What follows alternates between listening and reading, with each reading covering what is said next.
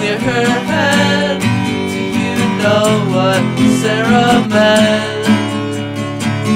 When she said, you'd be my guest.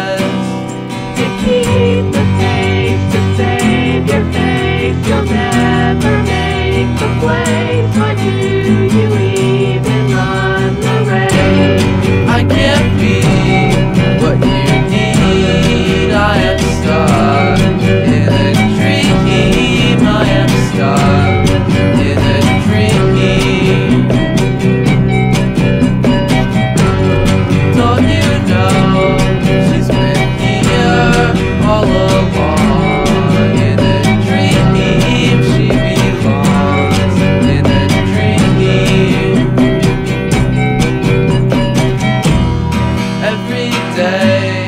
I'll make promises that play Sarah's heart so I can watch her fall apart.